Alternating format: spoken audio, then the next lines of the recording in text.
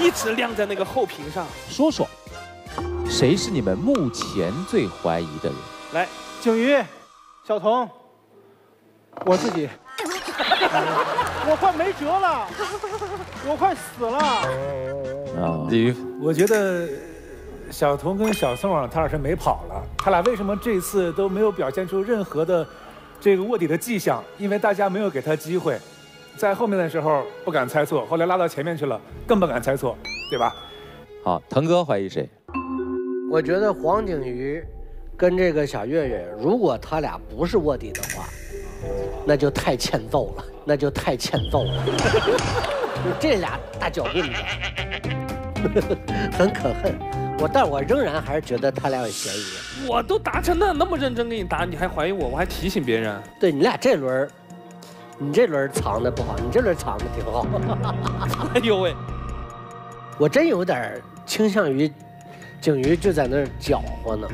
不是，我现在倾向你，有点倾向你是好人了。我早就看出咱俩是同伙了。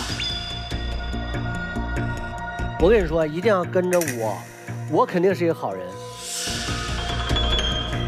花花怀疑哪三个人？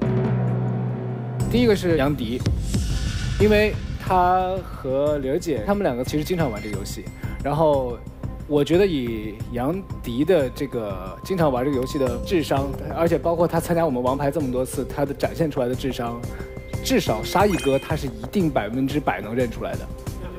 你有点高估他，我觉得你刚认出来啦？对，你看这个时候我在说话的时候，就看谁在帮杨迪说话了。哎，然后我听到两个声音在帮杨迪说话，一个是玲儿姐，一个是大家都没有猜的子怡姐。然后子怡姐非常奇怪，就是子怡姐是认错了两次汪峰老师，第一次是变形的汪峰老师，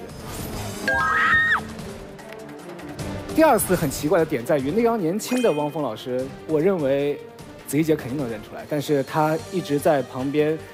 啊，嗯这个我好像也没有猜出来，我真的没没有看出来看出来他是谁。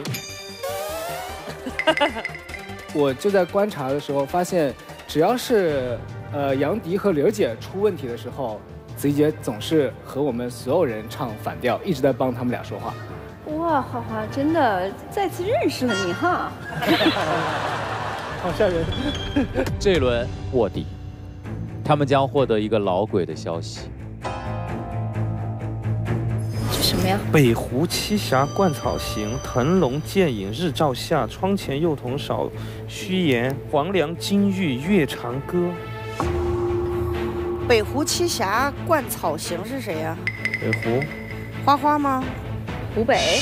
湖北，啊，龙腾腾，腾哥。腾腾哥。沈腾，幼童小小小童，黄粱。黄景瑜，等于说就四个人里面，肯定没有岳云鹏了。一会儿见机行事，不行，我先报匪，然后我们就瞎踩，腾哥和小童还有花花。卧底已经获得了老鬼的一条线索。